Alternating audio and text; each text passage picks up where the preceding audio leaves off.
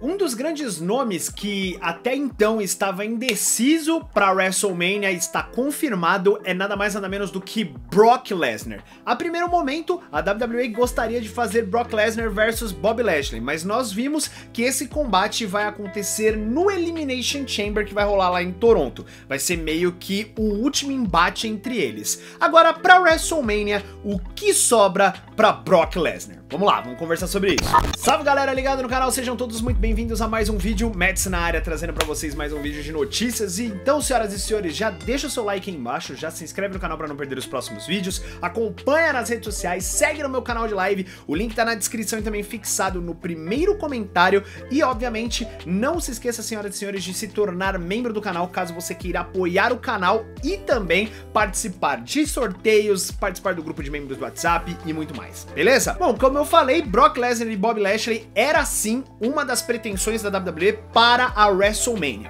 Porém, a WWE decidiu trazer esses planos um pouco antes. Anteciparam os planos para o Elimination Chamber, contando com o Brock Lesnar no evento que vai acontecer no Canadá. Agora, para o WrestleMania, sobraram algumas opções e eu vou estar tá listando elas para vocês e a gente comenta um pouquinho em cima. A primeira delas, senhoras e senhores, é que o Brock Lesnar enfrente o Gunther. Por algum motivo, o Gunther acabaria perdendo o Intercontinental Championship e estaria enfrentando o Brock Lesnar. Dentre esses motivos, nós poderíamos citar que o próprio Brock Lesnar poderia estar fazendo com que o Gunther perdesse o Intercontinental Championship. Diga-se de passagem que ele se tornou o maior campeão intercontinental do século 21. E se continuar com esse cinturão, logo mais passa o restante aí. Honk Tonk Man tá logo na porta, rapaziada. Eles tiveram ali aquele embate na, no Royal Rumble, Porém, ainda não ficou muito claro se a WWE vai querer de fato colocar o Brock Lesnar contra o Gunther, mas a realidade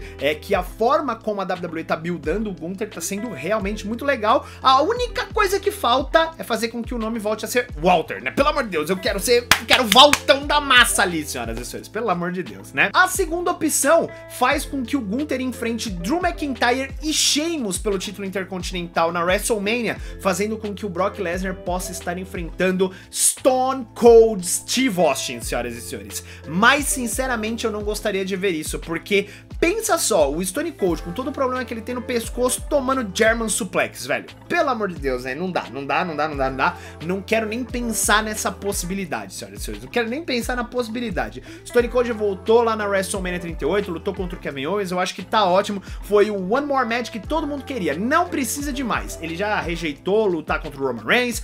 Parece que contra o Brock Lesnar também surgiu a possibilidade, mas ele também disse que não tá muito afim. E pelo amor de Deus, é a melhor coisa que pode acontecer é ele não estar enfrentando o Brock Lesnar, senhoras e senhores. Pelo menos isso é o que eu espero. Ainda existe uma expectativa dentro da empresa que de alguma forma possa acontecer ainda Brock Lesnar versus Bob Lashley. Porém, como eu disse, eles anteciparam a grande maioria dos planos, incluindo Bob Lashley versus Brock Lesnar. A menos que eles tentem de alguma forma fazer com que o Bob Lashley ganhe, para que assim nós tenhamos um último combate entre eles, né? Já que assim, se a gente for olhar num panorama geral, no primeiro combate entre eles, o Bob Lashley ganhou quando o Roman Reigns atacou o Brock. Depois, no Crown Jewel, o Brock Lesnar acabou vencendo, né, num roll-up ridículo, mas tudo bem. E depois, no Royal Rumble, o Bob Lashley meio que foi lá e eliminou o Brock Lesnar. Então, Pode ser que o Bob ainda esteja numa vantagem ali, mais ou menos, mas a vitória do Bob Lashley não foi limpa, né? Tem esse detalhe.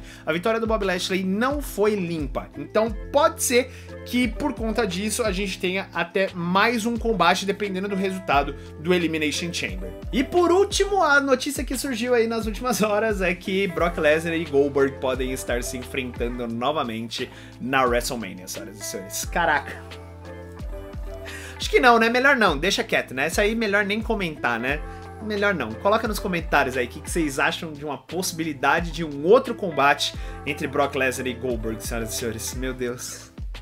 Ai, caraca. Bom, mas se a gente for parar pra pensar assim, né? Tá 2 a 1 pro Goldberg, né? O Goldberg ganhou na WrestleMania 20, ganhou também na, no Survivor Series, mas na WrestleMania 33, inclusive eu tava lá, o Brock Lesnar acabou levando a melhor. Será que eles vão colocar o Brock Lesnar para enfrentar o Goldberg de novo? Meu Deus, melhor não, né? Eu acho que de todas que a gente falou, o Gunther seria a melhor opção, né, senhoras e senhores? Eu acho que daria um bom combate entre os dois. Mas eu quero saber a opinião de vocês. Coloca nos comentários aí embaixo, por favor, coloca aí pra eu saber o que, que vocês acham de um combate entre Brock Lesnar e Gunther, ou contra o Stone Cold, contra o próprio Bob Lashley, ou até mesmo contra o Goldberg. Coloca aí pra saber a opinião de vocês, beleza? Nós vamos ficando por aqui. Se você gostou, deixa o seu like, se inscreve no canal pra não perder os próximos vídeos, acompanha nas redes sociais porque é muito importante, o link da roxinha tá no meu, no, na minha descrição e também fixado no primeiro comentário, beleza? Valeu galera, um grande abraço a todos vocês, fiquem com Deus, até mais, fui!